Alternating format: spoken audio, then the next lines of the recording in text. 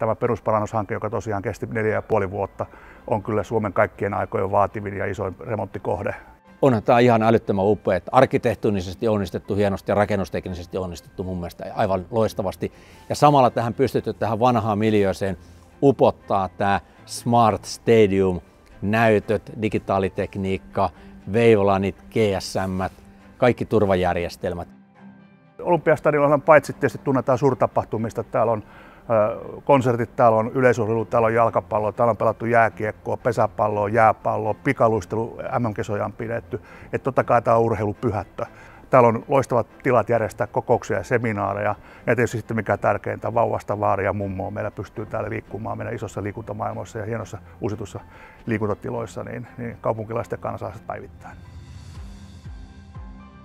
Audi on ollut loistava partneri meille, on tehnyt sydämellä tätä Olympiastadionin remonttia ja tämä on pitkä ja, ja todella vaativa hanke, jossa, jossa vaaditaan myös sitä pitkää päivää ja venymistä.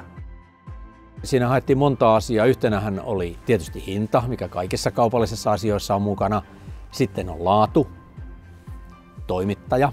Eli me voidaan luottaa siihen toimittajaan, että se on tämän koko projektin meidän kanssa mukana. Ja se, mikä oli myös tässä tärkeintä, että se toimija, joka tulee, niin haluaa olla mukana kehittämässä Olympiastadionia tälle seuraaville stepeille ja olla kehittämässä ja tuomassa tänne mahdollisesti kokeiltavaksi uusiakin asioita. Kyllähän tässä haetaan tietysti sen yleisön ja, ja stadion kävijöiden palvelemista ja, ja sitä semmoista, voisiko sanoa, efektiä, että vau, vau, miten hienosti tällä asiat toimii. Ja ihan ydin, ydinosa on se, miten tietysti AV-tekniikka toimii ja, miten sitä pystytään käyttämään niin kuin digitaalisenkin elämyksen tuottamisessa.